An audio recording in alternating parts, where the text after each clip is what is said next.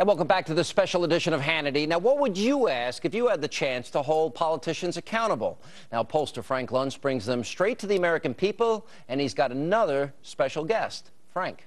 Not only does the show give you the answers to what's happening in Washington, but we provide you with the leaders.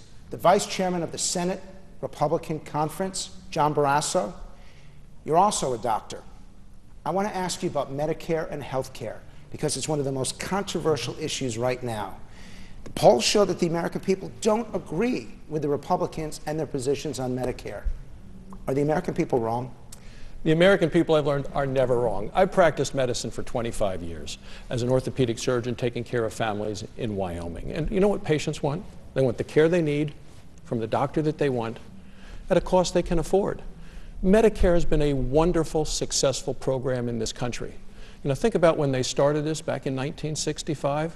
People, were, men were living to about 69, women to about 70. Now, because of the advances in modern medicine, women are li living into their early 80s, men to their late 70s. So there's a huge challenge. The baby boomers who were teenagers when they formed Medicare are now at 10,000 a day coming onto the Medicare rolls. So we need to strengthen Medicare. And I think the real wake-up call was very recently where the, the, the folks at Medicare said, we're going to be bankrupt five years sooner than we thought, just 13 years from now. So the truth of the matter is we have to save and strengthen Medicare, not just for the people who are on it now, for my patients, for your parents and grandparents, but also for the next generation so it's there for them. So what do you think?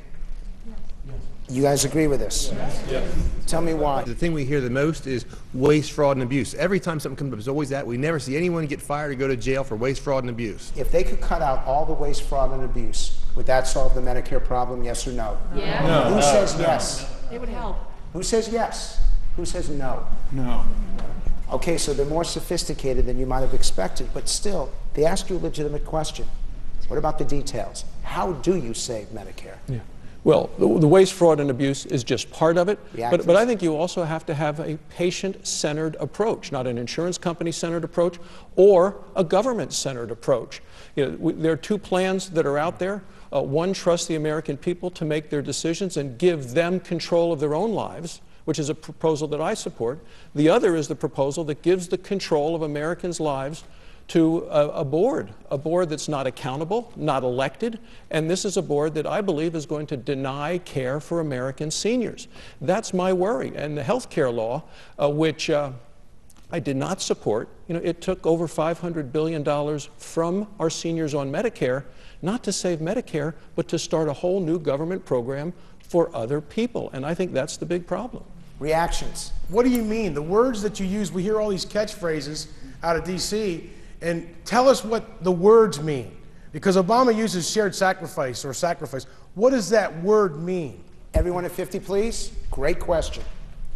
Strengthen to me means giving people more control of their own lives, having decisions made by the patient and the doctor, not by a government bureaucrat or an insurance company bureaucrat. And I think if you let people be responsible shoppers, they do a much better job than a government one size fits all approach. And that's why that's a position that, I, that I've supported and continue to support, having patients involved in the decisions and their care.